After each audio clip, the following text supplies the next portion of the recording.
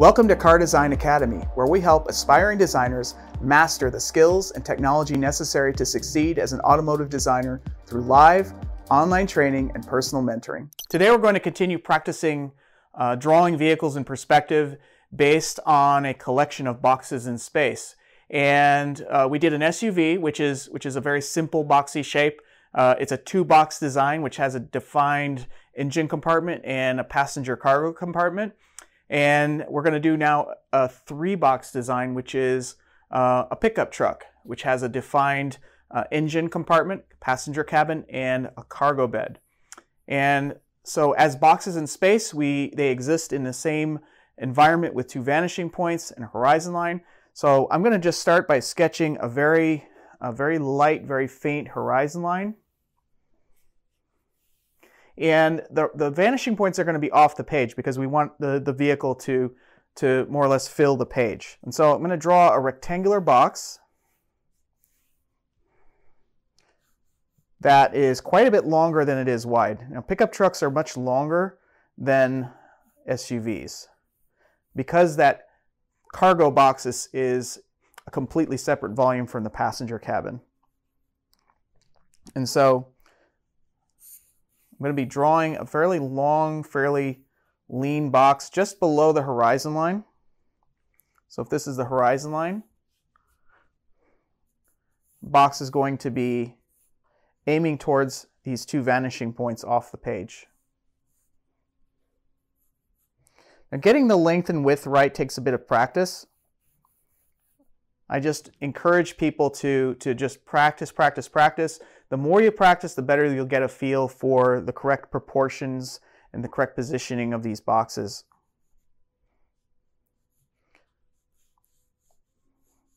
So I'm going to draw another box that's more or less centered between the two, but slightly um, biased towards the front. And this box is, go is going to go just slightly above the horizon line.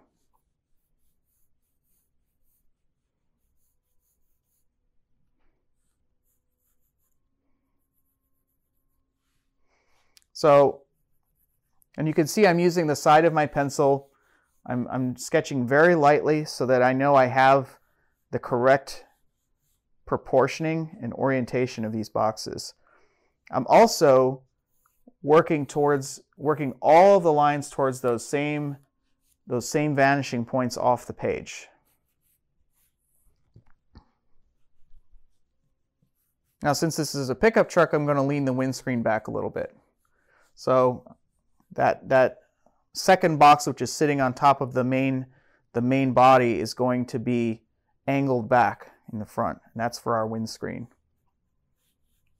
And I'm also going to add a, a trapezoidal shaped box on the front because I want this, this truck to have a bit of a chamfered look to the corners.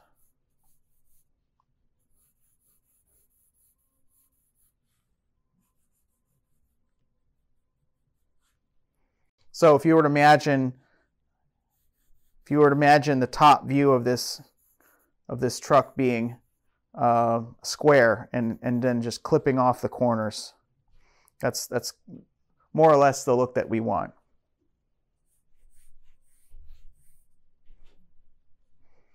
I'm also going to draw a center line because that's going to help me orient all of the details. And we're not going to do a, a ton of details because I want to stay focused on the boxes, but but the, the center line really helps to define or map out the details of the front end, like the, the headlights and the grill. Now I'm going to draw the two planes for the wheels. I'm going to, because this is an off-road capable vehicle, I'm going to make the, the center of the wheel be aligned to the bottom of the main body. And I want these I want these planes to look as square as possible and sitting just outside of the, the side of the, the main body.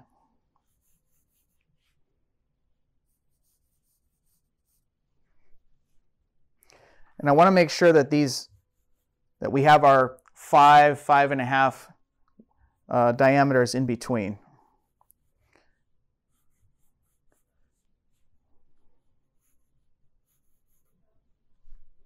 So I think we're pretty good in terms of the, the distance.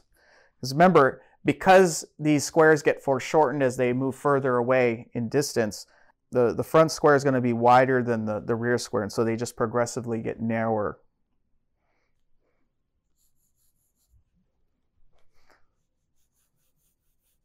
So you can see I'm just stacking, just stacking these boxes one on top of the other along the same, the same horizon line, the same vanishing points. Very important that we maintain consistency.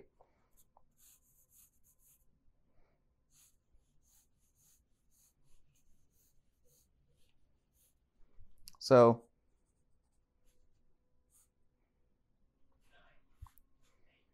all of these lines converge towards each other.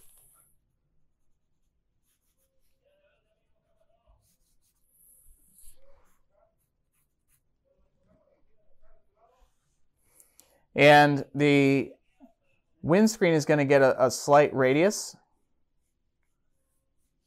as it transitions into the roof.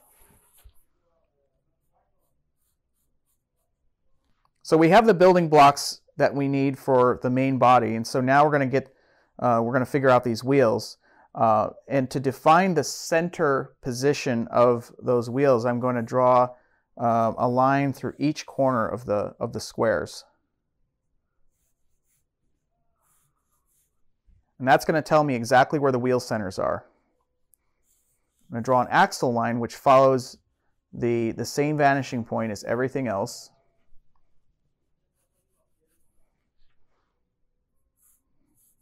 And if you remember, the orientation of an ellipse is always 90 degrees to the direction of the cylinder. So I'm going to draw another sort of very faint guideline that is 90 degrees to the axle. So now I have the correct height, width, and orientation for the ellipses with the box and the, the, the major axis. So now I'm going to very lightly sketch in the ellipses of the wheels.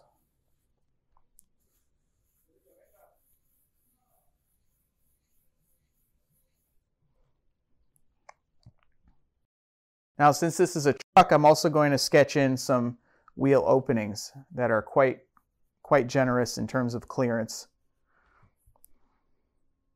I'm going to make them trapezoidal. So it's a little easier to draw.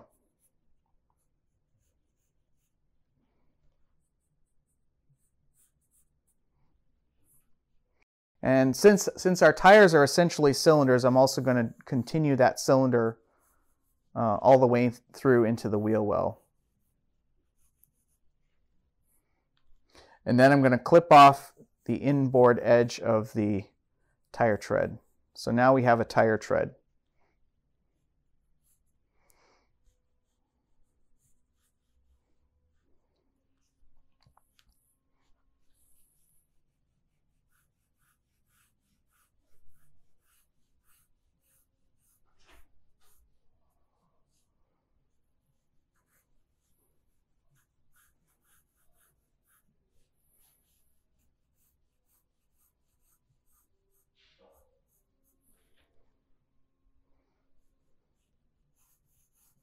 So now that I have all the building blocks put in place, I can start to darken some of these lines and start to add some, some, some surface character details.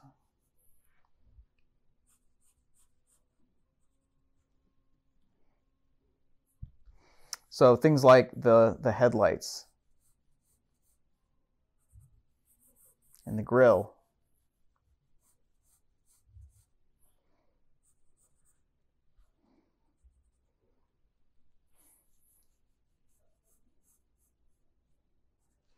Some, some fender lines.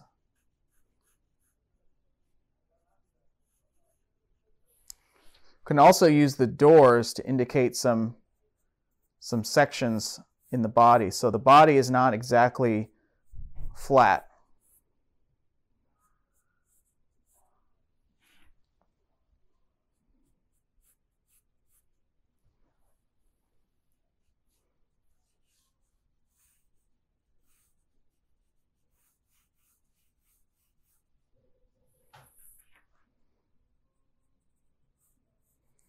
You might see the far side front tire just a little bit.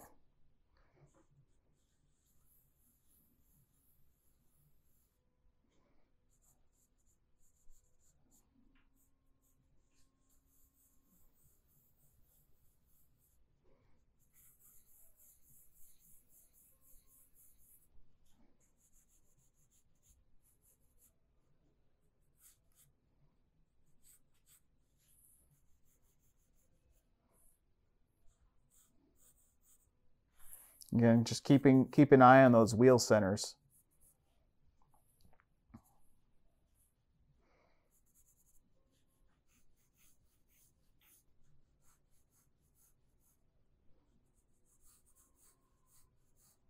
And now you can see with that chamfered corner, the bumper line. The bumper line really reinforces that chamfered corner.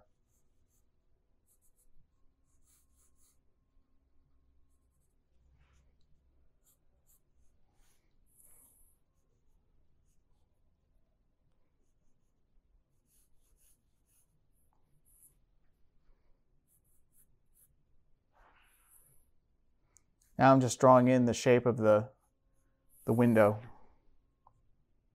Just following the profile of the, of the roof.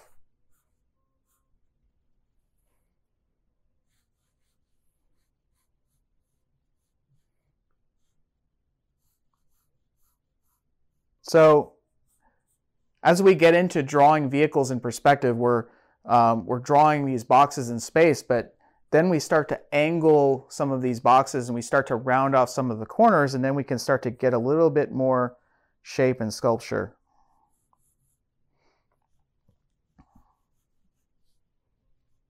And as we progress into uh, more sculptural vehicles like sedans and sports cars, um, we, we begin to angle and round off uh, lines and surfaces much, much more, but everything still exists within those same two vanishing points, that same horizon line, it's very important that we uh, maintain awareness of, of those, those key orientation lines. So all of my lines are converging towards those same vanishing points, towards the same horizon line. Everything is working together.